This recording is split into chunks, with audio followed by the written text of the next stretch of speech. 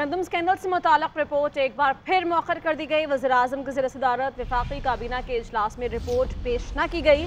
گندم درامت اسکینڈل کا معاملہ بھی کابینہ میں زیر غور نہ آیا۔ کابینہ نے نجی ایئر لائن کو انٹرنیشنل روٹ کی منظوری دے دی۔ اجلاس میں سعودی وفد کے دورہ پاکستان کو بھی سراہا کیا وزیر اعظم نے کہا کہ سعودی وفد کا دورہ کامیاب رہا، متعلقہ تمام وزراء اور حکام کو مبارکباد دیتا ہوں۔ سعودی تجارتی وفد نے مہمان نوازی کا کھلے دل سے اعتراف کیا، کہا کہ وفد کے سربراہ نے کہا، ہم انتہائی مطمئن ہیں اور خوشی کے ساتھ واپس جا رہے ہیں۔ جا کر بتائیں گے کہ پاکستان میں ایک نیا دور دیکھا ہے۔ غیر ملکی مہمان کی تعریف سے دل خوشی سے باغ باغ ہو گیا۔